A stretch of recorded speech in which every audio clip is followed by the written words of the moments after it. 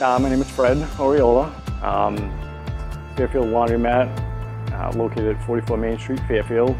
So we went to Italy last year. My family has a uh, dry cleaning business there, and the idea popped into my head there. It's like, hey, this, we could do this.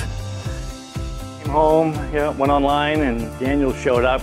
You know, started investigating the laundry business, and started, started seeing all the different laundromats and how they were designed, and it's like, is really nice. And then looking at the, you know, the return on investment looked promising, so we just moved forward. Yeah, the laundromat was previously a hair salon uh, from the 80s uh, for about 20 something years, and the building sat vacant. The owner didn't do anything with it, went up for sale, and it looked like a good spot for a small laundry. Initially started looking for used equipment.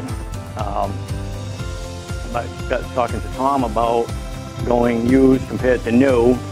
Um, he talked me to looking at the new equipment and you know what was available and you know the dependability of the units. And so we moved forward in investigating Continental. Yeah, uh, Tom had mentioned that soft mount was the only way to go and there was only a couple options and Continental happened to have a, a really nice line of soft mounts uh, that worked well for here. A lot of foot traffic comes by here.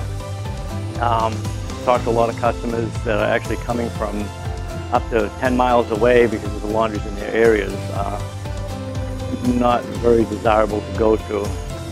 Mostly due to old equipment, cleanliness, and I'm um, getting a lot of positive feedback um, with the way this laundry is kept. Because it is a clean laundromat, it's new, uh, the equipment is a lot faster than most around here. Um, they like the atmosphere, the place to sit, you know, relax, watch TV while this stuff's being, you know, washed. What, in, what made it enticing is the fact that it doesn't have to be fully attended.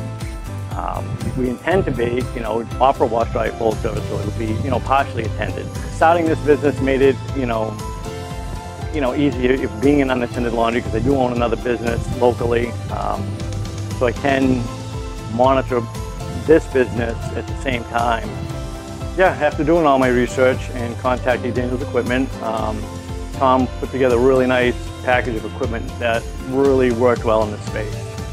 And I continue to do business with them in the future.